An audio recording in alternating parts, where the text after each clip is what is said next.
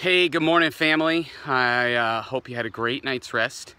Um, I woke up at about 4.30 again this morning, so I'm having like a four and a half hour nap every day because we are about seven hours difference. So right now you are fast asleep. It's right around midnight, I think. And I went out for my morning jog. Welcome to the Sea of Galilee.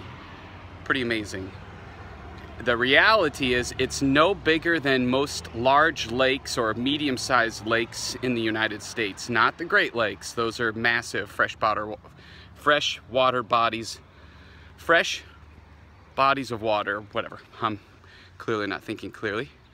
And uh, right here is Tiberias. That's the place where we're staying. In fact, we're staying at a hotel, uh, like right about where my finger is.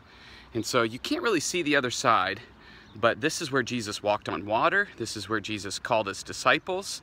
Um, and right now you can tell it's relatively calm. You can see the mountains over here in the distance. The sun is going to come up from right over here. And uh, so it's pretty exciting to be here. So anyway, I hope you have a great day. I'm going to pray for us. God, thank you for my family, for my kids.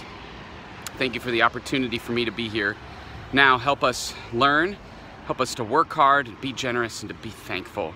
And God, I am so thankful that you love us and that um, I, I get to bring a little piece of where you actually walked back home uh, to my family and to the church. And so guide us today. We want to follow your plan. In Jesus' name, amen. Love you guys. Have a great day. I'll chat with you later, okay?